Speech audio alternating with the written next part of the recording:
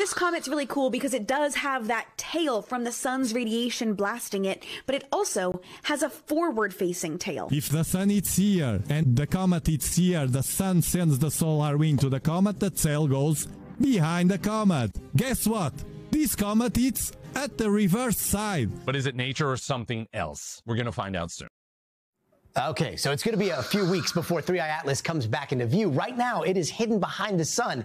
And even during its closest approach, Earth based telescopes are not going to be able to see it. What's worse, the images that NASA captured right before all this, well, we haven't seen those because of possibly the government shutdown. But our next guest has done more math, more calculating on every aspect of 3I/Atlas than anyone I know. He is writing right now that if 3I/Atlas is alien tech, this will be the make or break moment. The one and only Avi Loeb joins us now. He is head of the Galileo Project, founding director of Harvard's Black Hole Initiative. Professor, welcome back. Uh, so, starting with these new images, what's going on with the tail? Is this now just a, a normal comet off gassing, or as at least one of your colleagues has suggested, is this thrust from some sort of alien tech that's like maybe stepping on the brakes a little bit? What do you think? Well, thanks for having me. We don't know the answer to that, and we better observe it because uh, aside from uh, the anti-tail turning to a tail, which uh, you know could have a natural origin, uh, I actually wrote two scientific papers trying to explain it, uh, but it's not a simple explanation because uh, we don't know if there is dust at all around this object. Mm. but even more alarming, it's its size, the fact that it's at least a thousand, maybe up to a million times more massive than previous interstellar objects, uh, the first and second ones. And so um, we have to monitor it. And uh, gladly, um, yesterday we had the, an announcement by the International Asteroid Warning Network that will uh, uh, establish a campaign uh, coordinating observations from all around the globe in trying to get as much data as possible about the motion of this object because as it gets close to the sun, actually a week from now on October 29th, it will be at a distance of 203 million kilometers from the sun. That is the best point to have a maneuver to use an engine that would either uh, give a thrust object in the direction of its motion, in which case it will gain kinetic energy, or do the reverse, in which case the object would break and perhaps even release some mini probes towards the planets if it's technological. So we would like to know as much as possible about its future path, about its the nature of material coming out of it. Uh, it's you know, the beauty of doing science.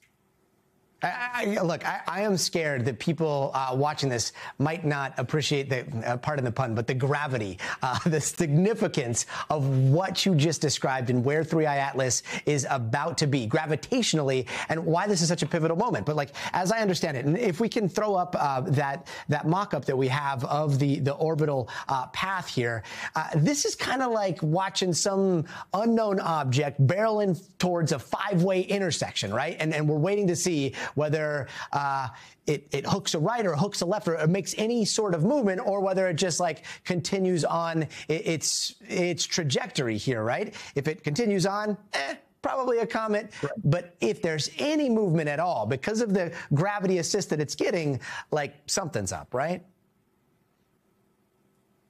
Yeah, well, the most uh, puzzling uh, aspect of this object is that its uh, trajectory is lying in the plane of the planets and it's coming uh, pretty close to three planets uh, mars uh, venus and, and jupiter. And uh, that suggests maybe it has some purpose now it doesn't necessarily mean that the object itself would deviate from its path it could also release uh, some uh, smaller objects that would uh, use this maneuver close to the sun, and we just need to monitor and see if there is some unusual activity either around the object or coming towards planets. You know, there are orbiters around Mars that we are monitoring the sky around the, the Earth with three observatories of the Galileo project, and I asked my research team to check for any unusual activity Yeah, and and I mean to add on to that, like all of this is happening just as this thing goes into our Earth blind spot. It is pretty wild.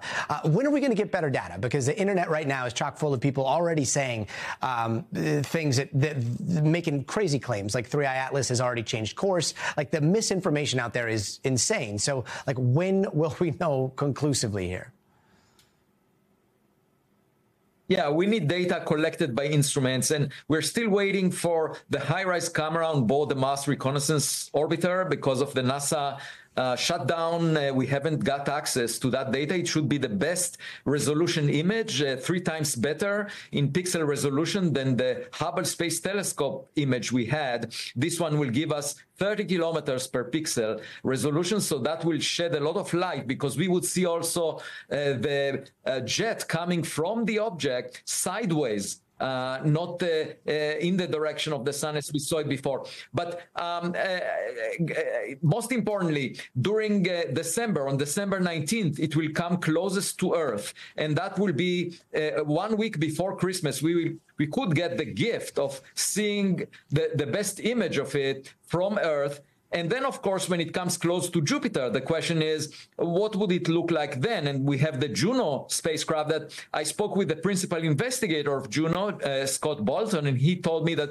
they will use their uh, radio antenna to also search for any radio emission from this object. Hmm. And of course, if we detect any, that would be a technological signature as well. Yeah, Christmas could come a little early to astronomers like you. Uh, Professor, thank you so much for joining us. We thank you for watching. And remember, stay updated on breaking news and top stories on the NBC News app or watch live on our YouTube channel.